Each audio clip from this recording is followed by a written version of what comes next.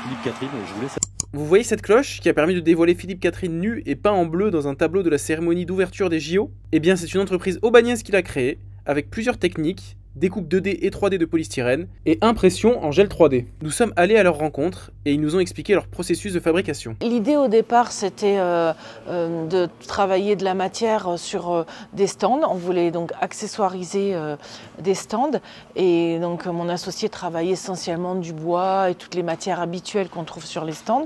Et on a orienté la société uniquement sur cette activité de découpe de polystyrène.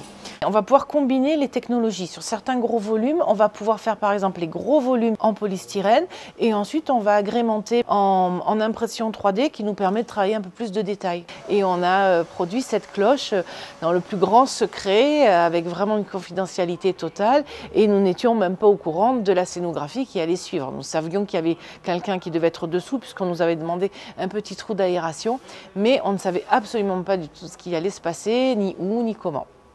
Elle est en polystyrène avec de la résine dessus, une coque de résine, et euh, la, partie, euh, la partie de la poignée, donc de l'anneau de levage, a été faite en impression 3D. Elle faisait une cinquantaine de kilos et ensuite on a alourdi avec des poids parce qu'elle n'était pas assez lourde. Ensuite il y avait cette, euh, cette finition chrome qui est toujours un peu délicate pour vraiment avoir quelque chose qui soit pas trop ombré. Donc on a en effet euh, été très très très attentif et mis une attention très particulière à la production de cet objet. Nous attendions donc le 26 juillet, nous étions tous concentrés voir s'il allait se lever, s'il n'y avait pas d'accident.